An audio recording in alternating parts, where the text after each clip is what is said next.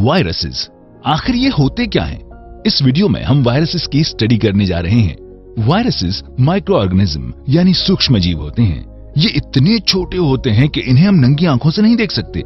ये बैक्टीरिया से भी छोटे और ह्यूमन सेल से लगभग सौ गुना छोटे होते हैं। इनके कई शेप्स होते हैं और ये हर जगह पाए जाते हैं। वास्तव में वायरसेस अर्थ की मोस्ट फंडामेंटल बायोलॉजिकल यूनिट हैं।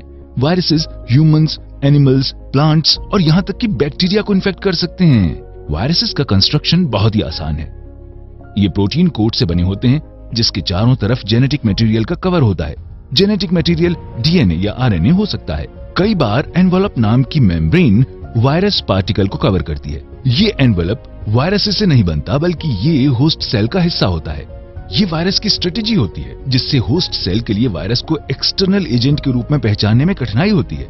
जैसा कि हमने अभी देखा, वायरसेस सेल्स से नहीं बने होते हैं वास्तव में वो लिविंग यानी सजीव भी नहीं होते। वायरसेस लिविंग ऑर्गेनिज्म और केमिकल के हाइब्रिड होते हैं। वायरसेस लिविंग्स नहीं होते, इसलिए हम कह सकते हैं कि कुछ खास स्पीशीज के अलावा भी दूसरे कई तरह के वायरस होते हैं। इन्फ्लुएंजा और एच का एड्स कुछ कॉमन वायरस हैं।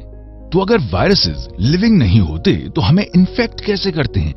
वायरसेस पैरासाइट्स यानी परजीवी होते हैं, जो दूसरी लिविंग सेल्स में खुद को रिप्रोड्यूस करते हैं। वायरसेस होस्ट जेनेटिक मशीनरी को हाईजेक करके वायरल जेनेटिक मटेरियल को रिप्रोड्यूस करते हैं। वायरस पार्टिकल्स की मात्रा ज़्यादा होने से होस्ट सेल की डेथ हो जाती है, जिससे वायरल पार्टिकल्स रिलीज़ होते हैं जो दूसरी सेल्स को इन्फेक्ट करते हैं। रिलीज्ड वायरल पार्टिकल्स दूसरे लोगों को भी इन्फेक्ट कर सकते हैं। वास्तव में वायरस होस्ट सेल को दो अलग अलग तरह से अटैक कर सकता है। इसे हम इस वीडियो में डिटेल में देखेंगे। वायरसेस से ह्यूमंस में कई तरह की बीमारियाँ होती हैं। Cold influenza rabies yellow fever HIV या AIDS pneumonia bird flu Zika Ebola cancer जैसी बीमारियाँ वायरस के कारण होती हैं। हमारे इम्यून सिस्टम यानी प्रतिरक्षा तंत्र के मज़बूत होने के कारण वायरसेस हम पे अटैक नहीं कर पाते।